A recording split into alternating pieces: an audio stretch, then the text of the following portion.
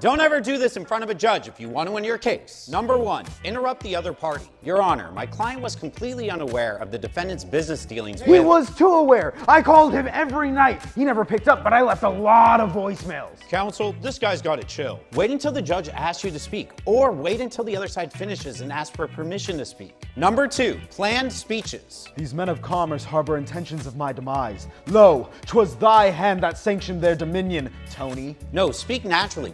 Speeches seem rehearsed. Trust your knowledge and be genuine in your responses. Methinks chicanery is afoot. His rejoinders bear the mark of rehearsal. Tis a cause for suspicion. Number three, use profanity. How many timeshares did you sell before my client was aware that they were all in Nebraska? You mother piece of piece of mother.